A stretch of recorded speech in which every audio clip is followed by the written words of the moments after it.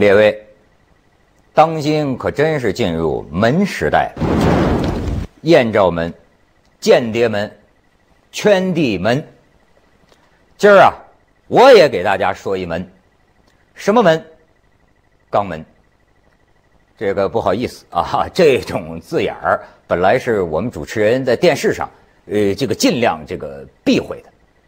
呃，其实从科学的角度上来说，肛门也是人体不可分割的一部分，也不能把它当弱势群体，它当然是弱势的个体啊。从从医生的角度来说，没有什么理由歧视咱们肛门。呃，而且呀，也没办法，最近闹得热火朝天的这么一个事儿。这个事儿的核心呢，就是这个门。您听说了吗？深圳凤凰医院里头有一个产妇生了孩子，给缝了肛门，缝上了。当然，我也听见有人说，这个凤凰医院是我们凤凰卫视的定点医院，在此我们要这个特别澄清啊！我还见过街上那个什么机构叫文涛机构呢啊！呃，这个呃是个正常的现象。我们的这个社会里重名重姓实在是太多了，跟凤凰卫视一点关系都没有。反而凤凰卫视啊 的文涛拍案呐，今天要砍一砍这件事儿。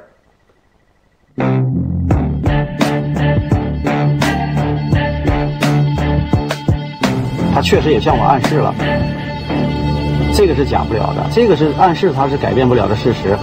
他塞给我的红包，你收到红包，他比较心安理得。肛门开始开始疼痛，我一看肿了大概有这么大。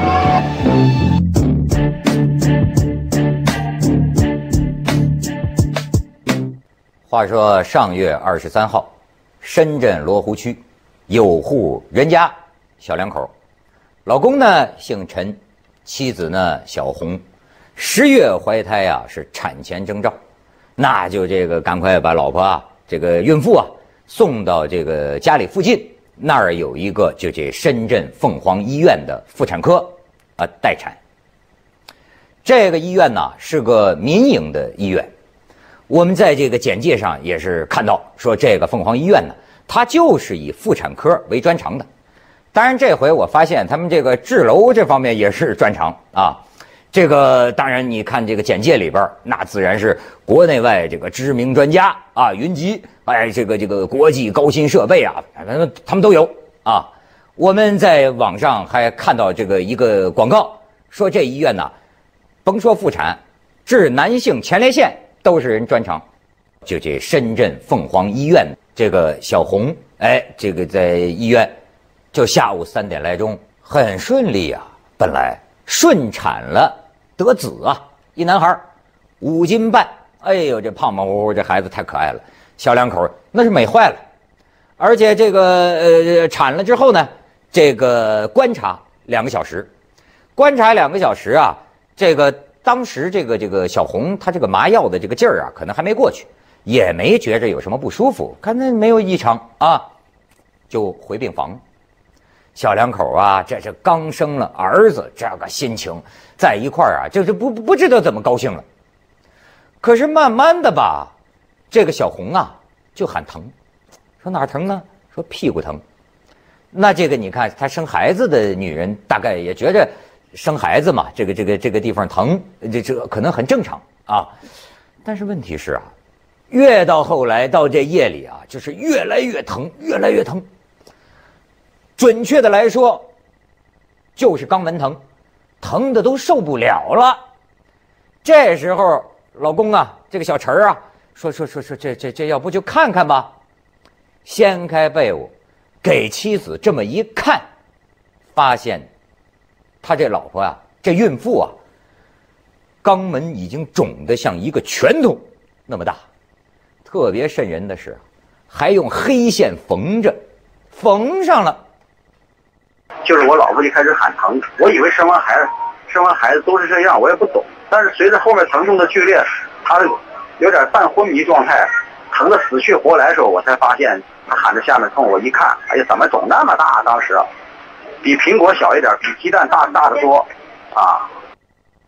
哎呀，不好意思啊，所以说现在我们传媒爱夸张，原来是肛门肿得像鸡蛋那么大，我刚才说是像拳头那么大，是是是是是是，实际上是夸张啊。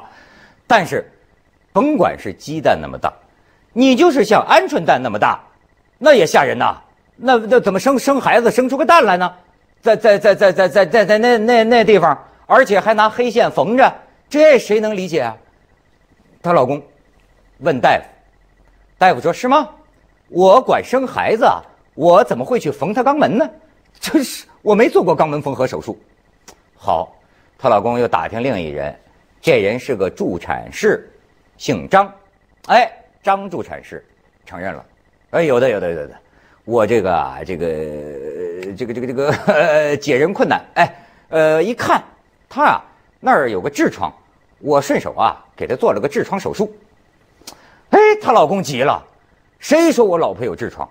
我们结婚这这这这么些年，我从来就不知道她有这个问题。再者说了，你你你就是真有，你做这好事你都不带征求家属同意的吗？于是，她老公小陈就猜了。他猜啊，是不是这助产士是嫌我给的红包少，把我老婆肛门缝上了？你在给产妇做这种，一般是如果发现有痔疮是不予处理的，产妇一年之内是不能做手术的啊。第二，这一旦发发现了也是不应该去去这样处理，因为你缝本身他做了侧切术，你只要牵扯到用了针去缝。这就是一个有创伤的，不应该有创伤的。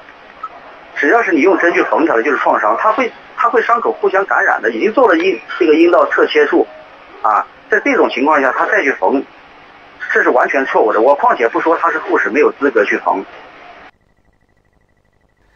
这肛门不是 这红包给少了，缝了老婆的肛门。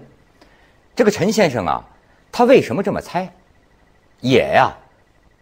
不是没有来由，为什么呢？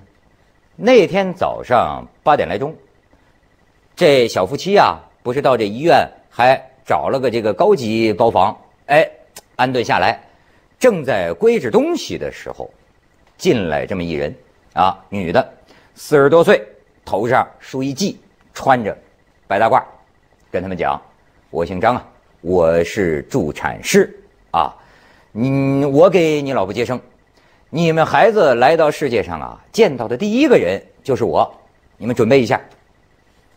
当时陈先生还有点好奇，说：“嗨，我们准备？